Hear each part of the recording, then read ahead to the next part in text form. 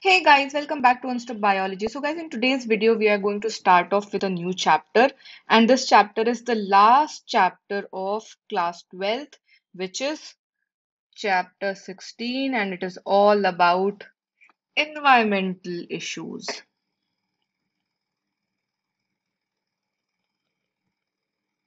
right so in this chapter we are going to deal with all kind of different environmental issues which are happening in today's day. So guys uh, before i start off with the chapter if you're new to the channel and you have not yet subscribed to the channel please do subscribe to it and press the bell icon to get all the updates all the notifications. And yes please do give your feedback in the comments of the video. And if you did understand the video please do like it and share it with all your friends. So guys uh, before we start off with the first topic that we are going to discuss in this chapter, which is air pollution and how it can be controlled, let's understand what exactly pollution is, right? So before we do anything, we understand all about pollution. So basically, guys, we have till now understood that, you know, uh, the human population size, we always talk about the size of human population, and we have now understood that it has grown enormously over the last uh, hundreds of years, right? So this basically means increase in demand for food, water, home, electricity, and a lot of commodities, right? So basically now, you know, this demand is exerting tremendous amount of pressure on our natural resources. And this is also contributing to pollution. Now, this pollution can be of air, it can be in water, or it can be in solid form. So basically, it can be in the soil as well right? So basically, we'll have to understand what exactly this pollution is and how it is defined. Now, pollution, as we say, that it is any undesirable change in physical, chemical, or biological characteristics of air, land, water, or soil, right? So if anyone asks you about the definition of pollution, it is any undesirable change in physical, chemical, or biological characteristics of air, land, water, or soil, right? So now what causes this pollution? There are certain agents, you know, and these agents bring such undesirable changes. So agents that bring such undesirable change are known as pollutants. Right now, guys, it has increased to a lot, and in order to control this environmental pollution, even the government of India passed the Environment Protection Act.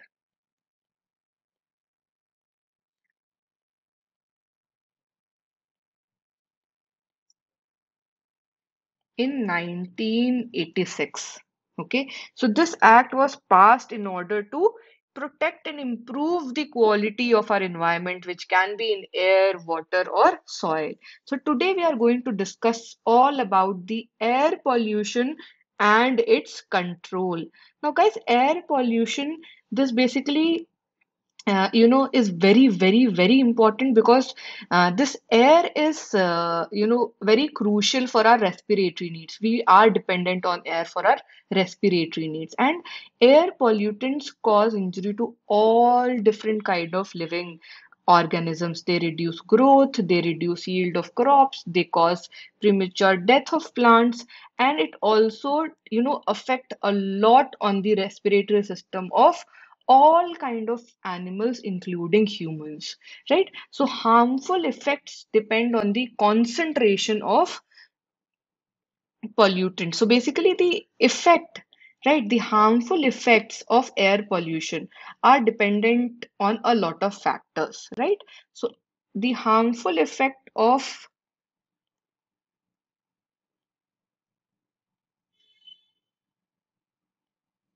of air pollution that depend on concentration of pollutants. It depends on duration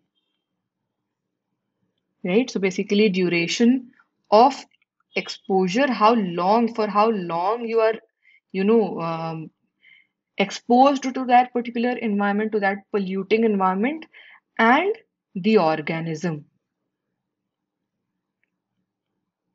right? So basically guys there is a you know there are basically several ways now to remove this matter this pollutant right? So basically there are ther- smokestacks of thermal power plants or smelters or different industries. Now these release particulate and gaseous air pollutants and this is together with a lot of harmful gases such as nitrogen oxygen right etc now these pollutants must be separated it must be filtered out and before releasing the harm, harmless gases into the atmosphere. Now, there are several ways of removing particulate matter, and this is most the most widely used one is electrostatic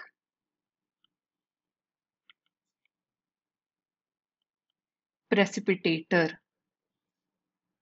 right? So, this electrostatic precipitator is known to remove around 99% of the particulate matter.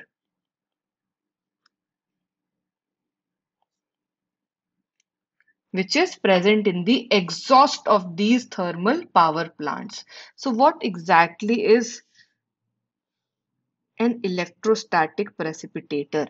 This is a diagram of an electrostatic precipitator. So basically it has electrodes, right?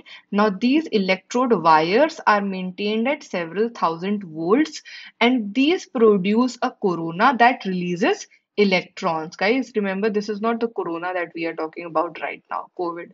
It is a separate word. So basically these electrode wires are maintained at several thousand volts and they produce a corona which releases electrons. Now, these electrons basically attach to dust particles and they give these dust particles a net negative charge. And then there is a collecting plate which is grounded and that attract the charged dust particles. Right now, the velocity of air between the plates they that must be low enough to allow the dust to fall. And then towards the other side, there is a scrubber which can remove gases like sulfur dioxide. So, in a scrubber, the exhaust is passed through a spray of water or lime, right? And it removes the harmful gases as well. Now, you know, recently we have realized that the dangers of particulate matter, which are very, very small and which cannot be removed by these precipitators as well, right? So, if you see the diagram here, basically this is the scrubber. This is the scrubber, right? Now here in the scrubber, you'll see dirty air will be passed inside, right? Here the particulate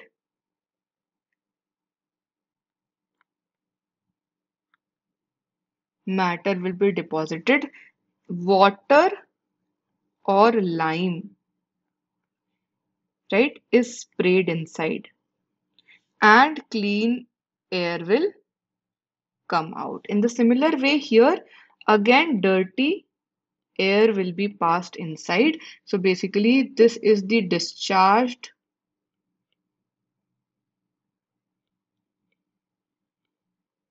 corona and these are the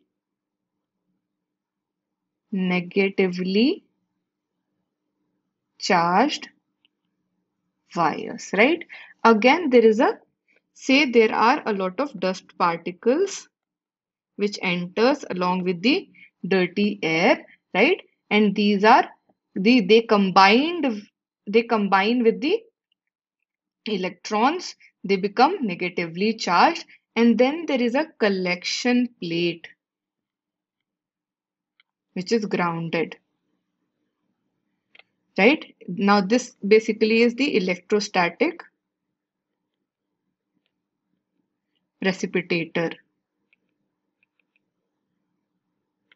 Right? So all of this is collected on the plate and clean air comes out. Right? So basically this is an electrostatic precipitator and it is the working. Right? Now guys these now as i said that th there are some particulate matter which are very very small and these can't be even removed with the electrostatic precipitator. Now what happens if they are not removed? Again there is a chance of pollution right? So according to the central pollution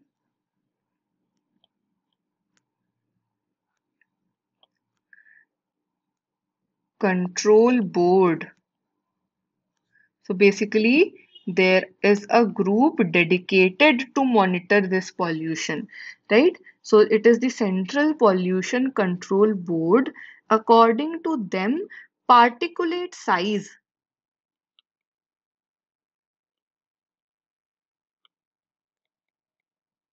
right? Particulate size of 2.5 micrometers or less in diameter which is known as PM2.5 are basically responsible for causing the greatest harm. So these cause the greatest harm to human health. Right? Now these fine particles can be inhaled deep into the lungs and these cause all kind of breathing and respiratory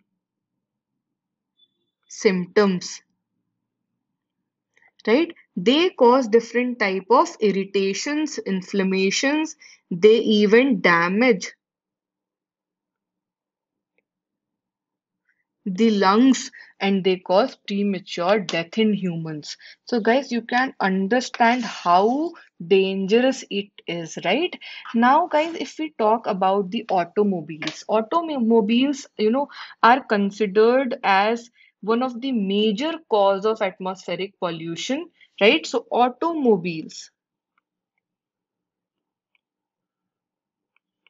they are considered as a major cause of atmospheric pollution and that uh, that too at least in metro cities right? So as the number of vehicles increase on the streets basically this problem is shifting to other cities as well. And that is why we say that proper maintenance of automobiles along with the use of lead free petrol or diesel can reduce the pollutants that they emit. So there are catalytic converters yeah they basically have they have expensive metals like platinum palladium or rhodium as the catalysts and these are fitted into automobiles for reducing emission of poisonous gases. Now as the exhaust passes through the catalytic converter basically what happens here the unburnt carbon hydrocarbons which are converted into carbon dioxide and water and carbon monoxide and nitric oxides are changed to carbon dioxide and nitrogen gases.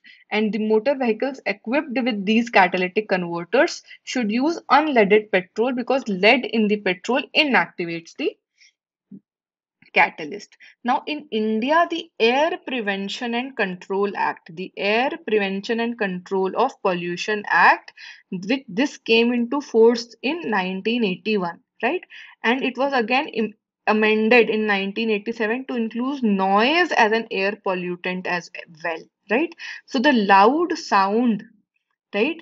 also causes psychological and physiological disorders in humans and this happens a lot in bigger cities you know and uh, basically noise causes a lot of problems in humans like sleeplessness it increases the heartbeat it alters the breathing pattern so basically it uh, gives a considerable amount of stress to humans, right? So even these are considered as part of air pollution.